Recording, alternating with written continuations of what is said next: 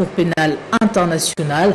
La Chambre d'appel a confié la condamnation à 30 ans de prison contre l'ancien chef de guerre congolais d'Aganda.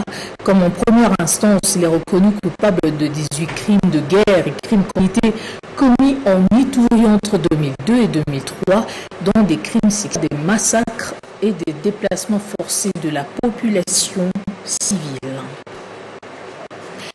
Accompagnement professionnel des institutions du pays, le Sénat par la presse. Le sujet a été au centre de l'entretien que le président de l'UN section Kinshasa, Jean-Marie Kassamba, a eu avec le speaker de la Chambre du Parlement, Modeste Batiloukwebo, ce mardi au Palais du Peuple, en l'écoute de l'audience. Bon, c'est une première rencontre que je viens d'avoir avec euh, l'honorable président du Sénat euh, au nom de l'UNPC Kinshasa, compte, comme vous le savez, 3500 journalistes qui comptent euh, les supports de médias et qui sont très sensibles à la vie parlementaire, notamment au Sénat.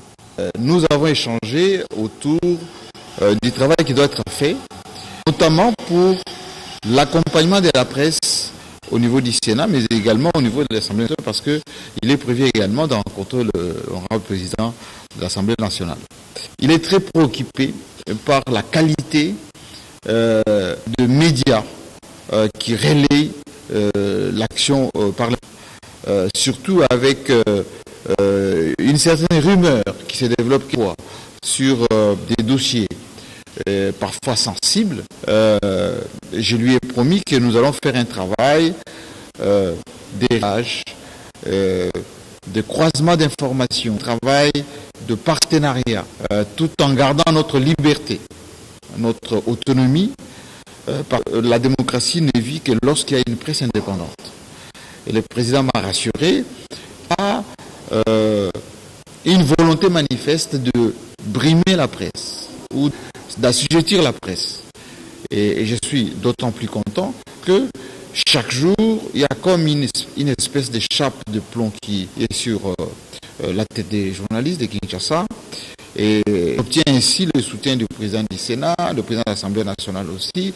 Nous un programme de voir aussi le Premier ministre, de sorte que le travail qui est à Kinshasa soit fait dans le respect de la séparation de pouvoir, notamment le pouvoir euh, médiatique de la presse de Kinshasa.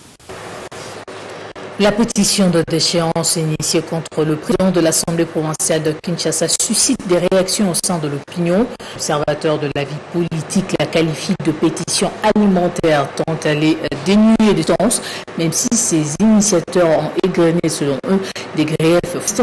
Golden ne s'est pas encore personnellement exprimé à ce sujet, mais son porte-parole parle des problèmes privés à la base de la pétition.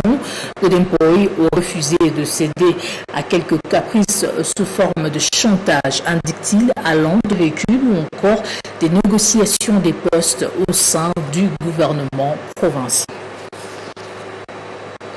Le président de la cellule de Front commun pour le Congo, Raymond Chibanda, réunit les présidents des regroupements politiques, des groupes parlementaires de l'Assemblée nationale, ceux des groupes politiques Sénat ainsi que quelques personnalités politiques fondateurs du FCC restés à l'ancien président Joseph Kabila. Plusieurs points ont été abordés. Tenez l'évaluation de la situation politique de la RDC, la rentrée parlementaire et surtout la structuration de la forme en perspective des élections de 2023. Face aux enjeux de l'heure, le Front commun pour le Congo s'est réuni pour du président de la cellule de crise, Raymond Chibanda, au cœur des de la rentrée parlementaire et les questions majeures d'actualité. Il faut signaler qu'à ce jour, le Front Congo compte 150 députés nationaux, 35 sénateurs comme noyau dur de Kabila Kabangé au sein du Parlement. Les hauts cadres du FCC ont discuté. La position actuelle du FCC est devenue de fait la première force de l'opposition au sein du Parlement. Celui-ci devrait donc logiquement occuper les postes de porte-parole de l'opposition. Point n'est besoin de rappeler que le FCC n'est concerné de près ni de loin quelconque partage de pouvoir avec l'Union sacrée Les Fronts communs pour le Congo déterminés à poursuite pour défendre la Constitution, les lois de la République ainsi que les acquis démocratiques. Les hauts cadres du Front commun pour le Congo ont également échangé la composition des groupes parlementaires ainsi que les commissions au sein de la Chambre basse du Parlement. Cadre de la famille politique de Joseph Kabila, on parle de la structuration très prochaine du Front commun pour le Congo afin d'être un ordre de bataille pour les prochaines élections qui, pour le FCC, se tenir coûte que coûte en 2023. Le provincial Pascal Omona dit avoir accompli sa mission en faisant adhérer 20 ans les provinciaux à la vision de l'union sacrée de la nation pour un développement intégral de la province, affirme-t-il. C'est lundi que la liste a été présentée aux hauts représentants du chef de l'État. Après plusieurs descentes dans son fief électoral du Maniema, on a suffisamment sensibilisé pour la cause de l'union sacrée. Mobiliser les plus grands nombres des députés provinciaux, il l'a fait. Kinshasa, il vient rencontrer le haut représentant du chef de l'État. C'est un bon exploit. Merci beaucoup. Félicitations. La moisson est abondante. Presque la tous députés que compose l'Assemblée provinciale du Maniema sont acquises à l'Union sacrée. Euh, les 22 députés provinciaux qui constituent l'Assemblée provinciale du Maniema, aujourd'hui il y a 21 députés qui viennent de signer la fiche d'adhésion pour euh, l'Union sacrée de On a échangé, on a la félicité ensemble provincial du Maniema pour euh, cette action qui est louable d'accepter aujourd'hui l'Union sacrée, euh, vision phare du président de la République. Pascal Omona, qui tient haut de sa province, croit dur comme fer que l'Union sacrée est la voie pour le développement intégral et une vision d'ensemble. Le ministre de l'Environnement a effectué une visite dans une usine de recyclage de déchets dans l'enceinte du Chaoumba. Pour cette première phase, des tonnes de déchets seront transformées en pavés. C'est sous un soleil de plomb que le ministre de l'Environnement et Développement durable arrive au lycée de Kaumba pour se rendre compte du travail abattu par l'église du Christ au Congo, dans le cadre du projet Tear Fund financé par les Britanniques une merveille qui transforme les déchets plastiques en opportunités à travers plusieurs articles produits. Le arrive à qui collecte tous les déchets recueillis pour une première phase dans la Calamou en plusieurs tonnes mais transformés en pavés. La technique dans un bref avenir être industrialisée avec l'acquisition des machines dans les broyeurs. Et Claude Niamugabo qui promeut un recyclage profitable ne va pas s'empêcher de descendre jusqu'à l'école primaire Lisanga, ici où s'opère des lavages expérimental avec succès et capable de supporter des poids lourds puisque certifié laboratoire de l'office de route et pour des routes devant durer jusqu'à 100 ans. Réel motif de cette euh, L'église du Christ au Congo a un projet important qui consiste à former euh, les déchets plastiques en matériaux de construction. Il est donc demandé de soutenir ce projet qui non seulement euh, contribue à l'ubrité de la ville de Kinshasa, mais également donne beaucoup d'emplois et fournit des matériaux de construction. C'est un projet qui mérite l'appui du gouvernement pour le ministre de l'Environnement qui promet l'appui du gouvernement sur cet important projet, ainsi qu'un lobbying pressant vis-à-vis des bailleurs des fonds et surtout sur le plan infecturiel. Des déchets omni-séjour peuvent être transformés en or dans un jour pour l'intérêt de la planète. Et puis le recteur cité de Lubumbashi a reçu deux hautes de marque de l'université de Liège, Jérôme de Belgique, change à porter sur la coopération interuniversitaire. Je suis ici sur invitation de Lubumbashi et en particulier du professeur Yannick Husseni, qui est le coordonnateur du projet qui porte sur euh, les forêts claires euh, ici au Katanga. Donc nous sommes ici pour euh, coordonner avec le professeur Husseni donc ce projet Charlu, qui est un projet de comprendre les facteurs de dégradation de la forêt de Miombo. Nous sommes aussi ici pour toute une série d'autres projets dont le projet d'appui institutionnel entre l'Université de Lubumbashi, financé par la RES, et c'est en particulier Mme Naves qui est là, il parlait avec les gestionnaires pour, discuter de la gestion financière et l'administration à propos de ces projets. Troisièmement, nous avons visité le recteur, lui donné deux bouquins. Un bouquin sur les paysages anthropisés du Katanga, qui est la préface, et un autre bouquin sur les forêts de la Chopo, hein, la forêt d'Anzubi, hein, donc pour enrichir euh, les ressources, euh, euh, disons, terres de l'université. Et quatrièmement, nous sommes aussi ici pour accompagner UCNI à Kolwezi, parce qu'une collaboration est en train d'être montée entre l'Université de Lubumbashi et l'Université de Kolwezi. Et ainsi, l'Université de Lubumbashi va pouvoir assumer son leader dans la région, dans la province, en tant qu'université complète pour accompagner les spécialisés en voie de leur épanouissement. Et Lubumbashi a toujours été un partenaire pour le renforcement des capacités. La coopération universitaire qui a été, qui par l'ARES et par l'OVLIR en Belgique euh, cible ce renforcement de la capacité, renforcement cité au niveau des enseignements, donc au niveau pédagogique, mais aussi renforcement de la capacité au niveau de la... Donc nous finançons depuis longtemps et des laboratoires, mais aussi des par des bourses de doctorat.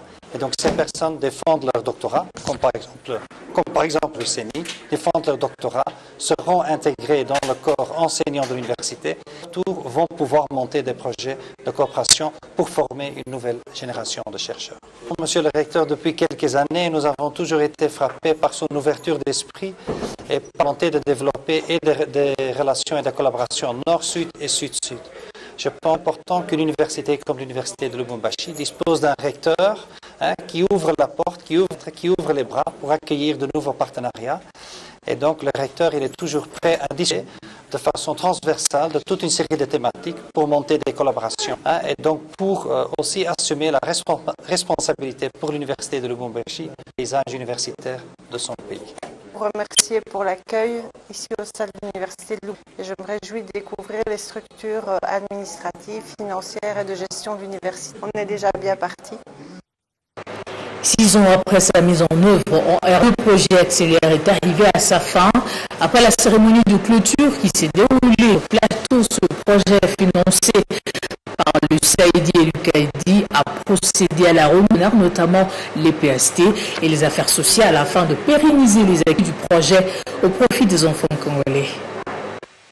Qui commence bien, bien dit-on, après plus de 5 ans d'activité en RDC, accélère approche mardi à la cérémonie officielle de remise des équipements du projet aux partenaires, notamment le ministère primaire, secondaire et technique, ainsi que celui des affaires sociales en RDC, avec comme objectif de pérenniser la formation continue des filles et garçons, bref, les acquis au profit des bénéficiaires. Marc Bonafant, directeur de l'éducation UCID, a été la première personne à prendre la parole pour, circonscrire le cadre de ce projet ainsi que les résultats réalisés suivis de Mathilde Inzun, représentante du secrétaire général et d'Albert Loubanzadio, venu représenter le secrétaire général aux affaires sur cette cérémonie. Le gouvernement des États-Unis et la se sont engagés à travailler ensemble dans des domaines d'intérêt pour soutenir les citoyens, le peuple congolais, qu'ils soient en bonne santé, prospères et pour qu'ils vivent en paix à travers ce grand pays. Enfin est arrivé le moment le plus attendu, consacrature et à la remise symbolique des clés des véhicules utilisés pour le ainsi que le transfert de matériel informatique d'une valeur de plus d'un million de dollars américains à la grande satisfaction de tous. Pour rappel, plus de 3 millions de dollars ont été distribués à plus de 4800 écoles et plus de 2 de première année ont bénéficié du projet Accélère des huit provinces, notamment Katanga, le Lualaba, le Nord et Sud Kivu, le Kasaï central et oriental, l'Équateur et le Sud Bangui. Et pour parler du Lualaba, l'initiative gouverneur intérimaire Fifi Masuka, les travaux de réhabilitation de la route Pouéné lancés par le chef du secteur Lulu. Objectif désenclaver la contrée pour permettre d'acheminer tranquillement les produits dans les grands centres de la province et du Tanga. C'est en démarrant ce tractopelle que le chef du secteur, Louis Louis, a, sur recommandation du gouverneur intérimaire du Lualaba, Fifi Masuka Saini, lancé seulement les travaux de réhabilitation de 10 km de la route Pouené à 20 km de Kolwezi, la capitale provinciale. Pour le numéro 1 de cet anti ont été initiés par Fifi Masuka afin de désenclaver cette province du cobalt dont la population éprouve d'énormes difficultés pour emprunter, c'est tout en cette période de saison des pluies. Il a fait savoir que la réhabilitation de la route Pouené est d'importance capitale car elle permettra aux cultivateurs d'acheminer leur vers les grands centres du là-bas et d'une partie de l'ancien Katanga. La population à protéger tous les engins.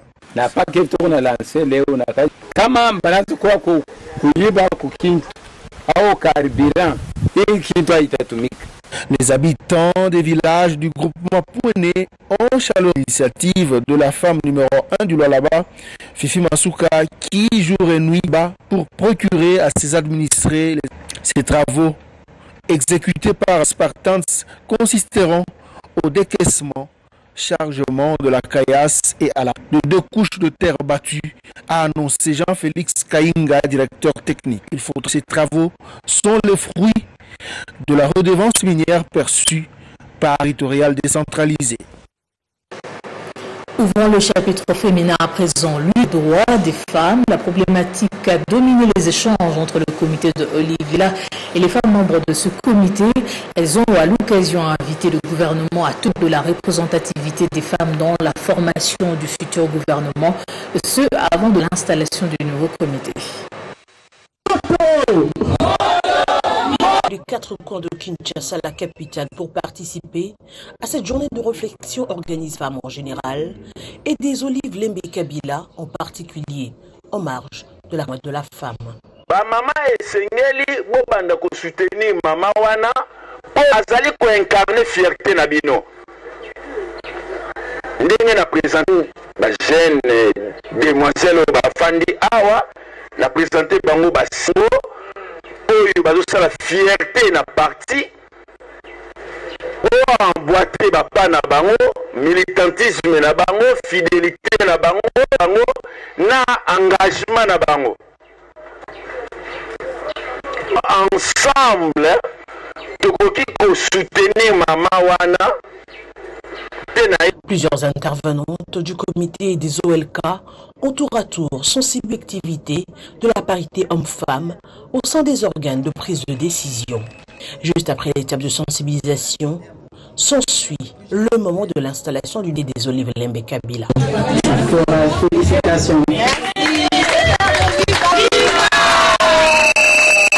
Il de rappeler que les Olives est une structure de la coordination nationale de Bissona qui soutient toutes les actions de l'ex-première dame de la République, Marie-Olive.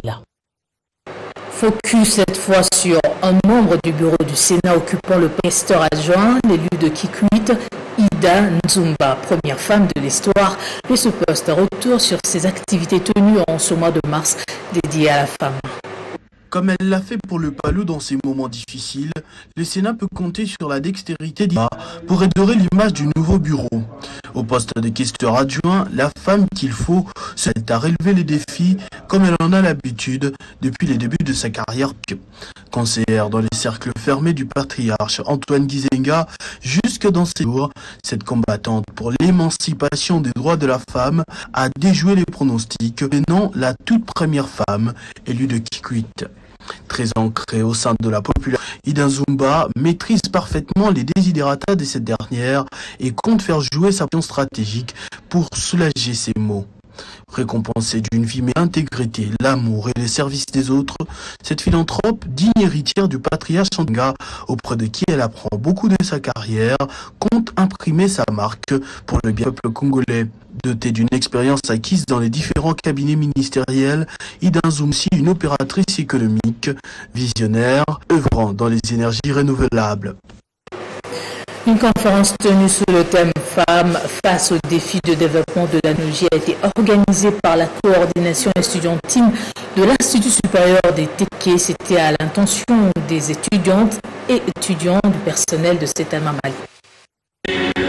C'était une conférence basée essentiellement sur les nouvelles technologies et ses défis face à la femme en général et particulièrement à l'étudiante de l'an supérieur des techniques appliquées. Cette conférence s'inscrit la vision de notre coordination dans son axe scientifique, programme SIET, qui signifie Café, Innovation, Entrepreneuriat et Technologie.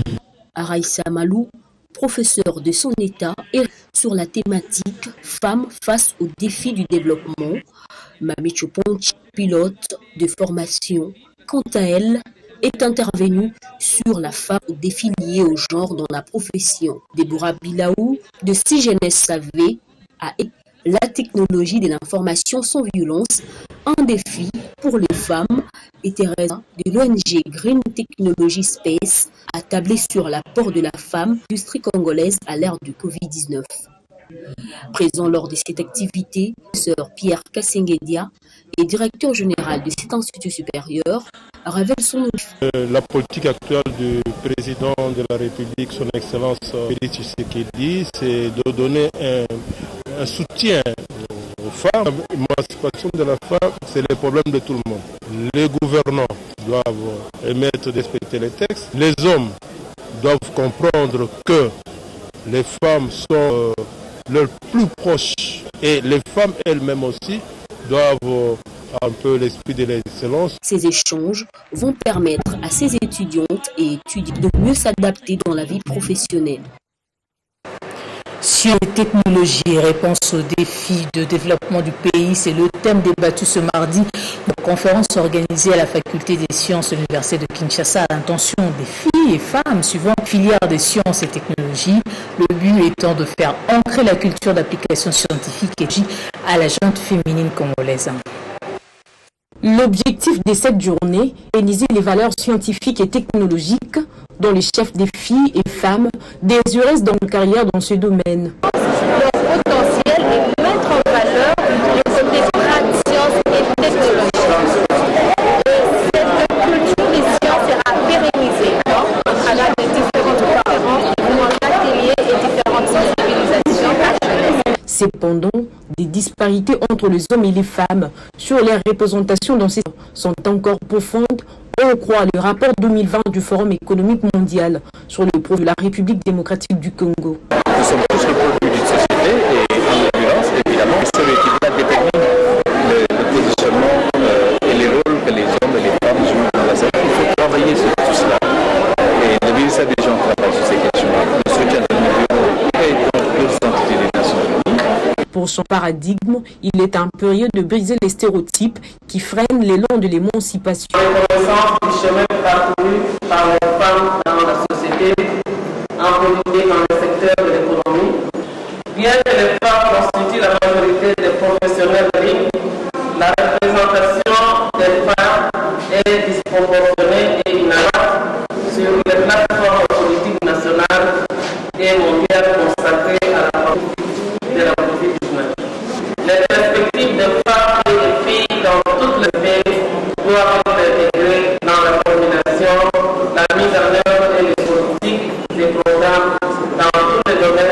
Côté gouvernement, on réitémination à promouvoir les droits de femmes. Cette rencontre a connu la participation des hier, notamment du lycée Motema Pico et étudiantes des quelques lycées universitaires de la capitale. De leur côté, les de la NGT ont eu un atelier de réflexion sur le rôle qu'elles doivent jouer pour un commun.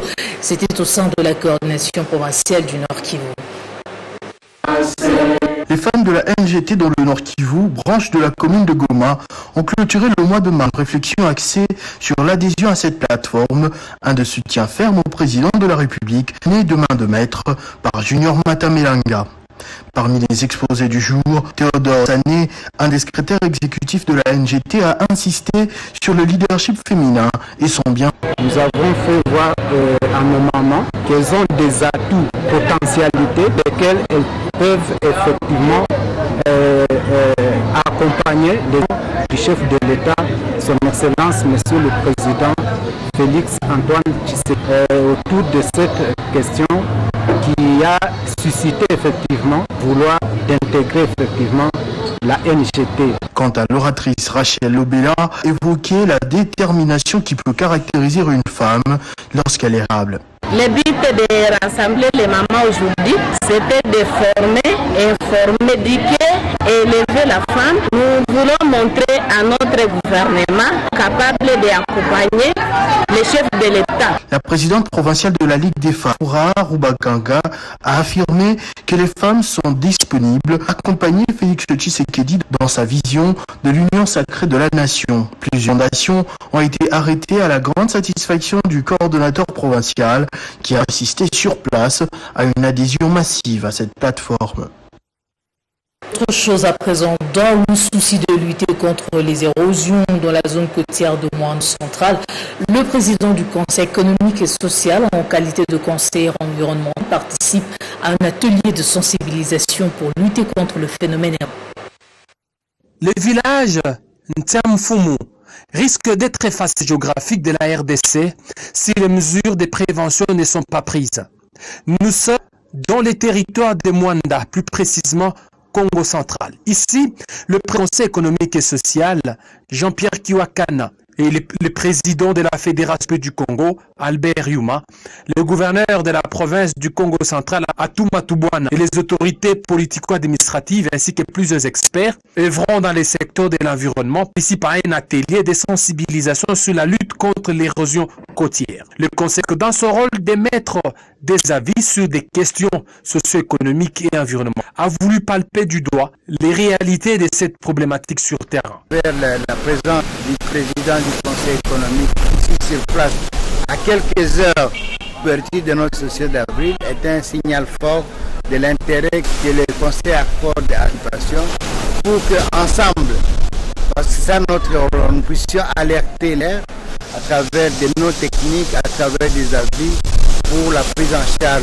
de cette question. Le chef du village Nsiamfumu appelle l'État à mettre le moyen pour contrer la furie des vagues de l'océan Atlantique provoque les érosions dans ces coins de la RDC. Ce projet financé par le PNUD et Global Environment Facility vise entre autres à renforcer la résilience climatique communauté de Mwanda à travers la mise en place de l'information sur les risques en vue de planifier, budgétiser et piloter des mesures de protection orale en République démocratique du Congo. Et puis, soucieux de l'action de la culture des jeunes dans le Haut-Katanga, Patrick Katengo a récompensé les artistes musiciens de la province et d'autres mécènes qui luttent pour les valeurs de la jeunesse dans la province tenu une soirée organisée à l'occasion de l'anniversaire de l'émission 001, une émission à promouvoir les artistes du Haut-Katanga en général et de Lubumbashi en particulier. Le choix avait accepté le challenge, à savoir DJ Trey avec le titre 50, Agressivo Accompagnero avec Anachilewa et avec sa chanson Sable et Fanatique ont eu un mois de vote pour offrir à leur star préférée le cadeau de la superbe Mégane décapotable dernier cri offerte par l'honorable Patrick Atengo, ambassadeur universel de la paix et président du Forum national de la jeunesse FNJ, l'auteur de la soirée et présentateur de l'émission 001 Gift Madiakoni n'a pas manqué d'aider ce grand mécène inconditionnel de l'univers culturel congolais en la personne de l'honorable Katengo Mafo pour ce grand prix. Je remercie ce soir, mesdames et messieurs, l'honorable Patrick Katengo Mafo, qui est le président du Forum national de la jeunesse, empêché ce soir en séjour à Kinshasa. Monsieur Patrick Atengo, pour rappel, est cet homme qui a cru en nous, qui a cru en ce projet et qui a accepté de débourser beaucoup d'argent pour acheter cette décapotable.